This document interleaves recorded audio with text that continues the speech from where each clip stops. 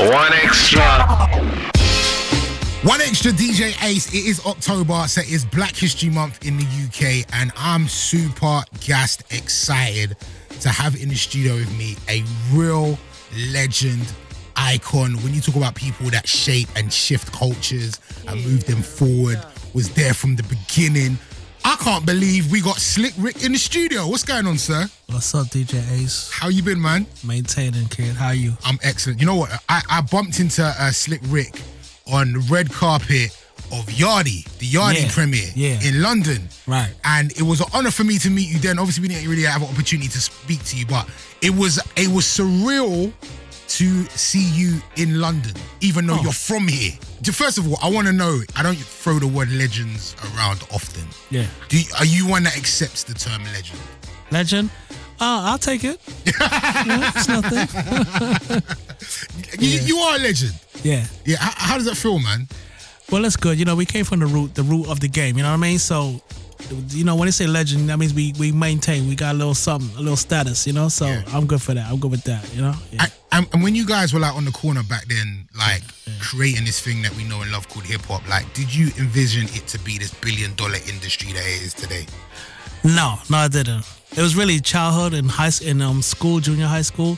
We just used to bang on the desk and say rhymes. Yeah. You know, just playing around, and then it just evolved into what it is today. So not not not at first. We didn't know it was gonna be what it is today, but we glad it is because it's like a melting pot for all races, all sexualities. It's become one voice. Like Nas says, all I need is one mic.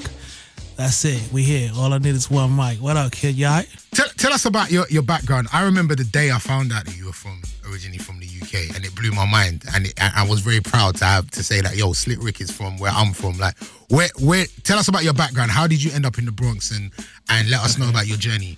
Well, my mother and father immigrated from Jamaica to to England, and I was born in 1965 over here, and then um, we moved to America in 1976.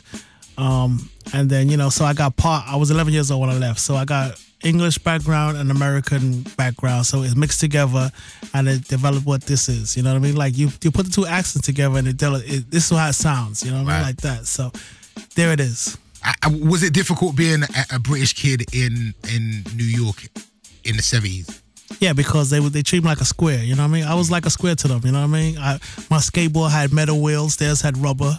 You know what I mean? So I'm, I move like three seconds, and they move like twenty seconds. You know what I mean? They Right.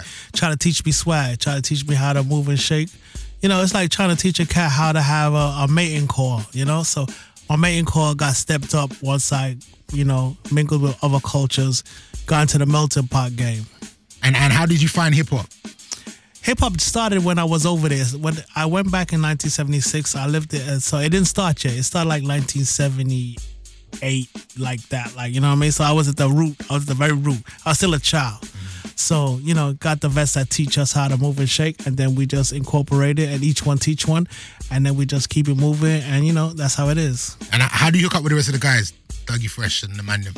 We all good, you know what I mean. Yeah. He he was he was an established artist. He put me on, so he helped develop my develop my stat where I'm at now. And you know, we just thankful for all of that. You know what I mean? You know, each one pulls one up, like passing the baton type of stuff and all that. It's like now when I speak to newer rappers, I can ask them like who were the rappers they listen to mm-hmm. coming up. There was not a lot of rappers before you, so like Right. who who influenced your style? Who were you listening to? Who like how? Where did that all come from? Well, it came from growing up in the environment. Um, the only people that we we were raised around was like the Cold Crush Brothers. Ashes to ashes and dust to dust. We are the brothers known as the cold crush. Not one, not two, not three, but four. We keep your arms in the air, your feet on the floor. And what we heard on the radio, which was like Kurtis Blow, Used to go to dinner, then take the girl to see Tiny play against Earl Pearl and Will, Big O, and Jerry West play basketball at its very best. there was there was Kool Herc. Yeah. He's from he's originally from Jamaica. Um, there was Flash and the Furious Five. He's also originally from Jamaica. Flash. So yeah, different parts of the Bronx had different people representing different areas. But from where I was from, it was the Cold Crush Brothers. The Cold Crush Brothers. Yeah. And and storytelling is always something that people talk about. Slick Rick, they call you like one of the greatest rap storytellers of all time. When did you start incorporating that into your rhymes? Storytelling was always fun to me before rap. So I used to like tell stories trying to entertain my peers and my parents stuff like that. It was like the when you watch the beginning of like an Eddie Murphy movie when he you know explains that he used to tell you know and stuff to make his family before he became famous Right. on Raw and all that type of stuff. So it's pretty much like that. It just developed into rap. You know what I mean? So it's like taking Eddie Murphy and making him a rap star, and he still has the humor, the jokes, and the storytelling the Richard Pryor, you know what I mean? All that Red Fire, all that, you know what I mean? So we we learn from our elders, our statesmen, and we incorporate in ourselves. And that's how I just was. I was. That's my niche. Yeah, like the storytelling. Yeah. it's fun. It- I, I I love it, and I'm sure everybody else does love it. And you've inspired so many MCs now to tell stories, and you're you're like an MC that a lot of people go to as yo. This is somebody that's inspired me. How does that feel? Oh, that's that's a great feeling that people look up to us. You know, the vets of a certain era. You know what I mean? So it's it's good. It's a good thing. Yeah, and I know like Snoop cites you as one of his biggest inspirations, and you're you're on the new Snoop album. Right. What was it like working with uh, the O double G? Well, Snoop represents the West Coast of America, so that's a good thing. East Coast, West Coast, you know what I mean? You get to you get to um identify with different styles of African American swag, you know what I mean? Yeah. So it was a good it was a good thing, you know what I mean? Snoop is a big dog, you know what I mean? And we call it big dog, big celebrity. And you know, we just move and shake like that and keep keep keep the culture current. See the culture is like it's unsupervised at the root, you know what I mean? So we just gotta talk like this. Is how we talk now. We like the vocabulary of the human race. You know, we took the English English language, we adopted it, we give it personality, and we talk like this now. We are like the melting pot, like how how Nas says one mic, all it needs one mic. We like that one mic. One mic. Um, like your swag, we got to talk about it. Like, is that was that a specific somebody that what inspired your swag when it comes to the jewelry, how you dress? Because there is no other Slick Rick. Like the swag is untouchable and it's unmatchable and un uncopied. Like no one tries to do you. Like where does that come from?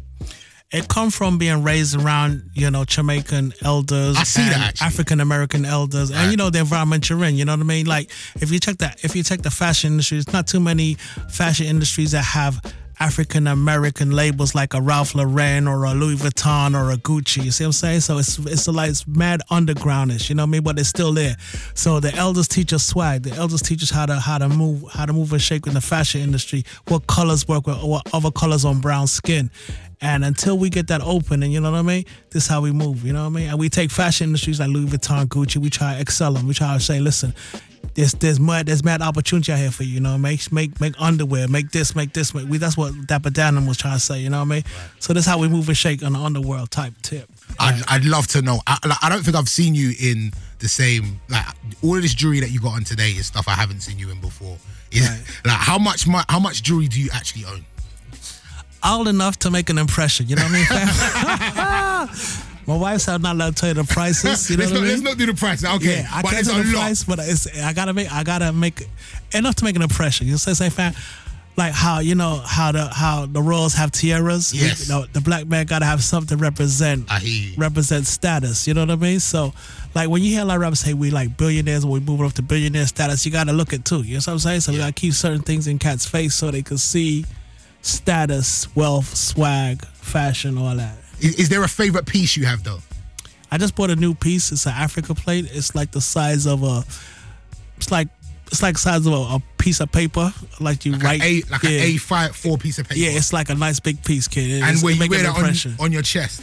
Yeah, I wear it on the chest, you know what I mean? And I floss it around, let let cats know this is the future of rap, the rap industry. This is the future of swag, daddy. How Meow. heavy? How heavy is that? Don't forget the meow. Me, meow.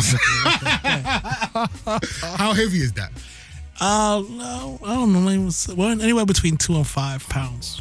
Wow. One of my favorite Slick Rick moments. I saw you uh, on uh, uh, Fade to Black DVD, and you were giving Ghostface. Yeah. uh, your jewelry, Right. You know what I mean? Like, I, I love when I see other rappers around, like especially the younger rappers. They they really get excited about hanging out with Slick Rick. Like, who are some of the, the people that you still hang out with?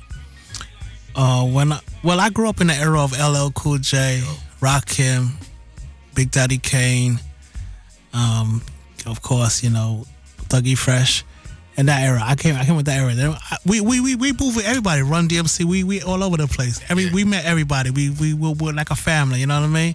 And on the swag dad, on secret squirrel tip too. So you know how it go. The, the the classic La Di Da Di, one of the most sampled records ever. Yo, peep this, La Di Da Di.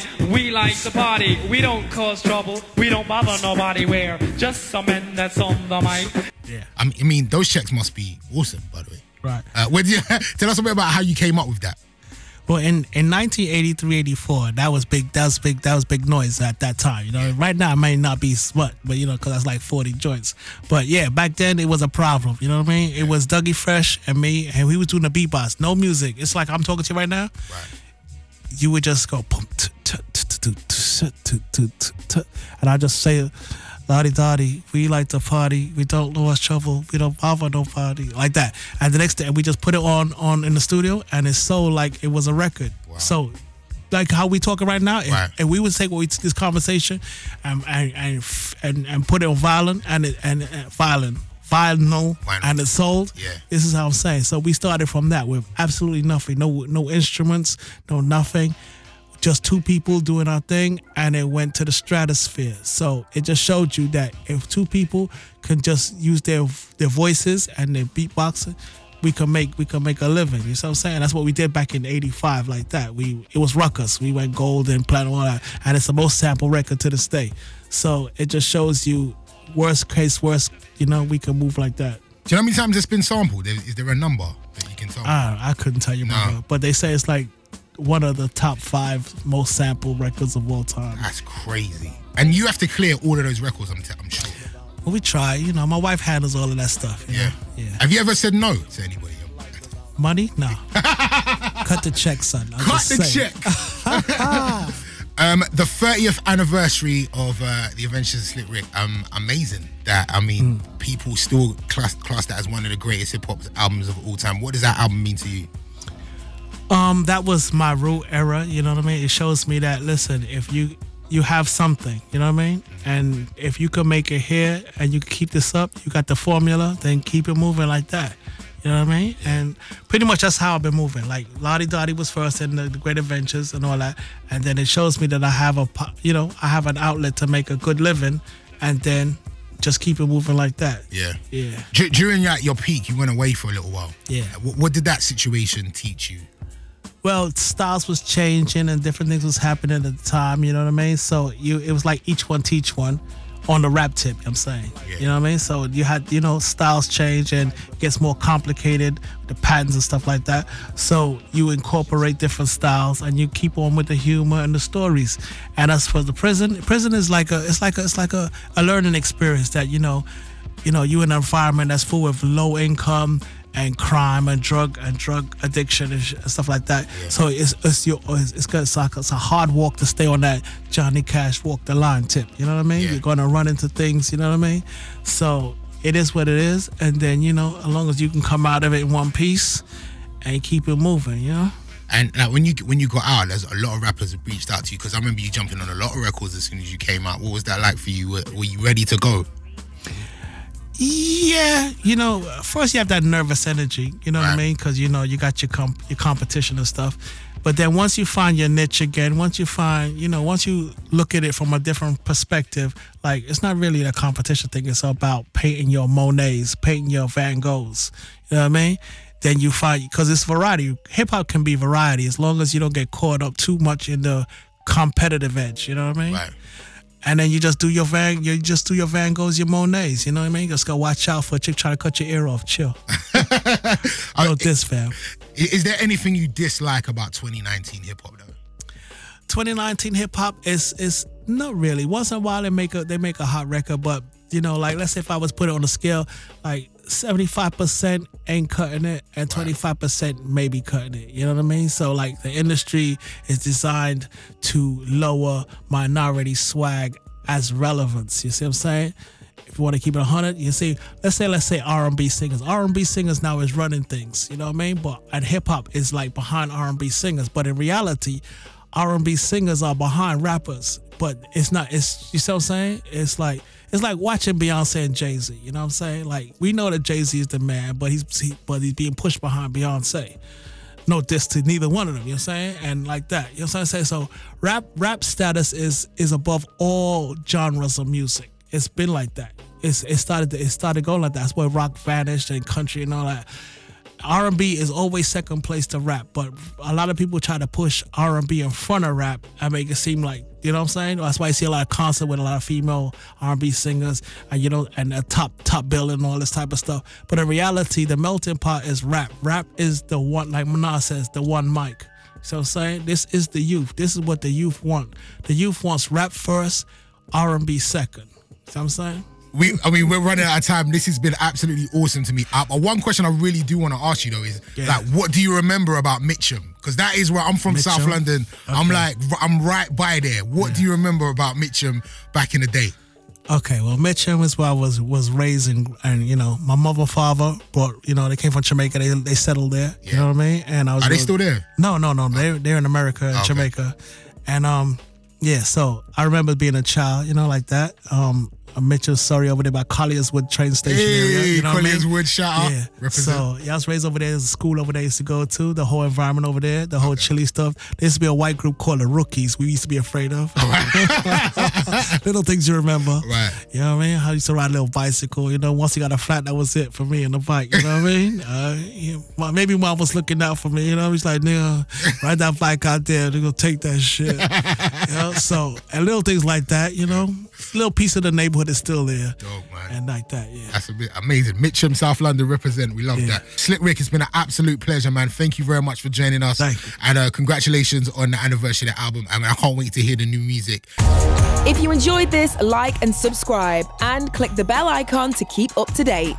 For more great audio and video from the BBC, listen on Sounds, watch on iPlayer.